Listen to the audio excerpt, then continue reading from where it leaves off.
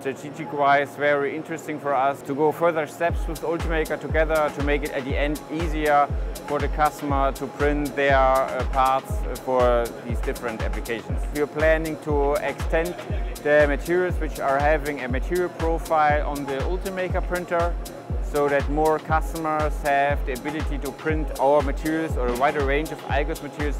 on the Ultimaker printer so that at the first time they get the right part without trying a lot because the profile is already inside of the printer. The value for the customer is that he can use the igus filaments on the Ultimaker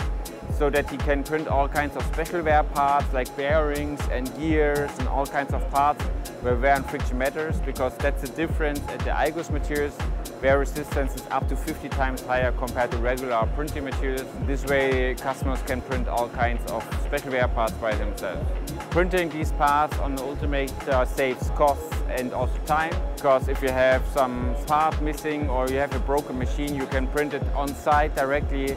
and have uh, really quick your part again so that the machine is running very quick again.